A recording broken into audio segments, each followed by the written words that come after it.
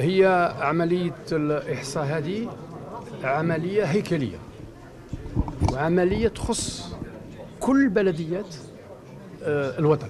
يعني ال 1541 ما كانش حتى بلدية يعني آه، ما تدخلش في الحسبان.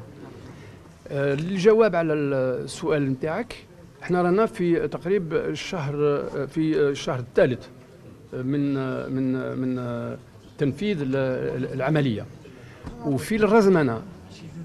ل- ل- لموضوعة من طرف الديوان الوطني للإحصائيات الإعلان الأول والنتائج ال- ال- الأولى يعني مش النهائية. النتائج الأولى تكون إن شاء الله في غضون شهر آه، آه، شهر جانفي. جلنا في جدول الأعمال إذا ربما آه، إصلاح. إحنا كنا تكلمنا على عصرنة الديوان الوطني لل- للإحصائيات لكن الآن نتكلم على على إصلاح.